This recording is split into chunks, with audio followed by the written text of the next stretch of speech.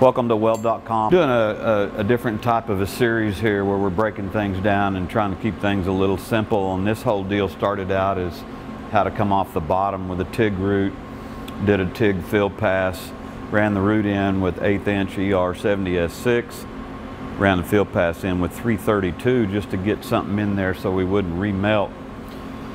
And now it's, uh, you know, we've got a decision of how do we finish this out. And so I've opted for shielded metal arc welding 332 70 18 now some of you may like to run eighth inch and that's cool but for control I like to run this is four inch schedule 40 so I like to run the 332 in there because what I what I personally like to do is underfill the bottom slightly overfill the top. So if we ran a weave or stringer beads in there then we have ourselves room. The main thing is we want this tied in, laying in there flat.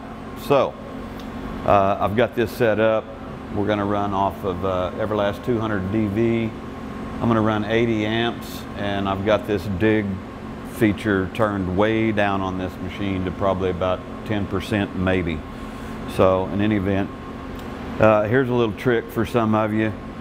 You know, when I get a, uh, a full rod if I move just a little bit with the electrode in my hand, then this part out here moves a lot, you know, and I'm getting old and shaky. So, and I've been doing this even when I was a younger man. I like to kind of run these half burnts off the bottom because I feel a little more comfortable. I can get set steady.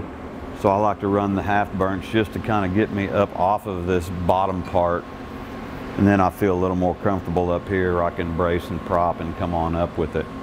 So uh, I'm gonna grab a hood and gloves. We're gonna throw down, do a little welding.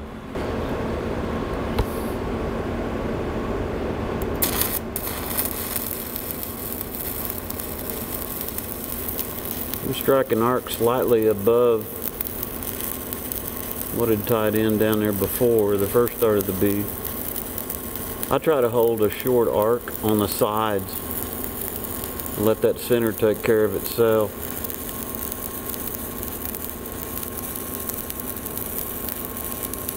Again, bring this up flat, clean.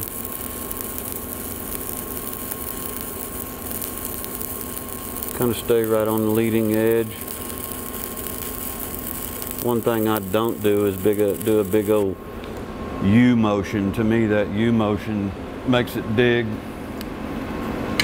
and uh, drip down toward the center.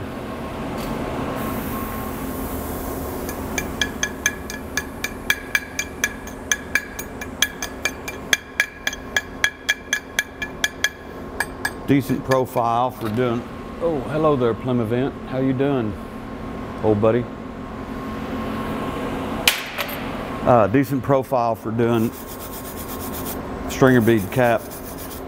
So now I feel a little more comfortable running a, a full length rod and I would come in here, strike the arc, let the rod get going and tie in right here and then keep going up, fill this thing up. All right, here we go.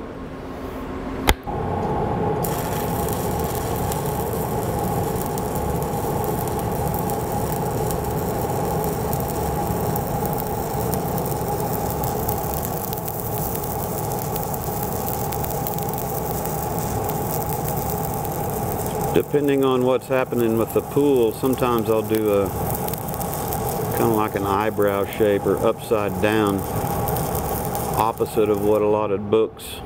Uh, hmm, hmm, hmm. Lost power and popped a breaker.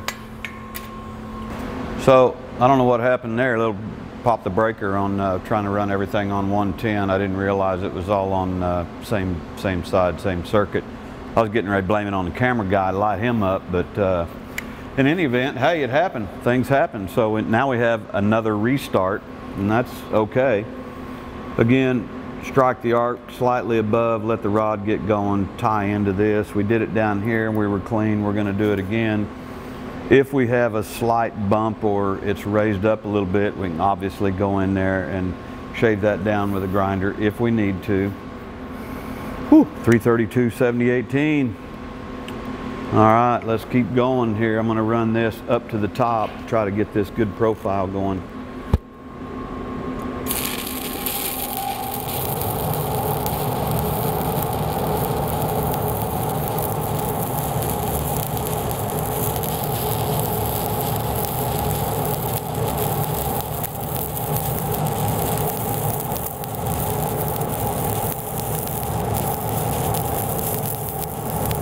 Doing a little tuck on the sides. Make sure that that's laying in there nice and flat.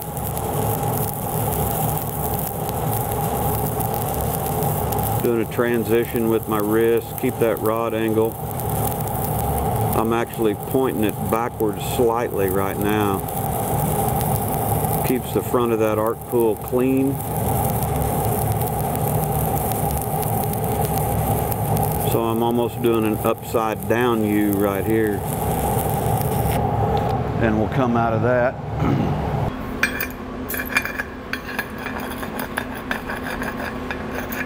Again, don't beat the crap out of your uh, slag if there's no need to. And we're pretty clean, so I don't see any uh, any problems per se.